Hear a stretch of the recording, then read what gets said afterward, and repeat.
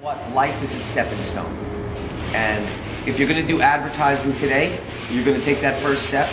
And whether you stay in advertising or do something else, you're going to take what you learned from that first step and you're going to use that as a catalyst to the second step. What do I value about my education the most?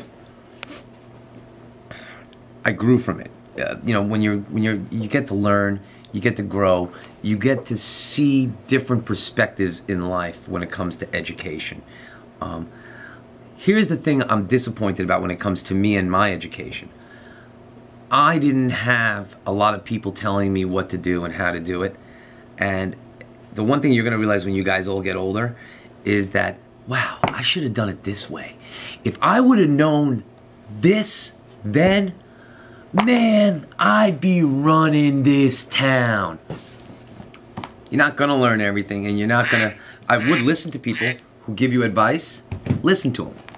Because they were there already. They saw the fountain of youth. You just imagine it. They saw it.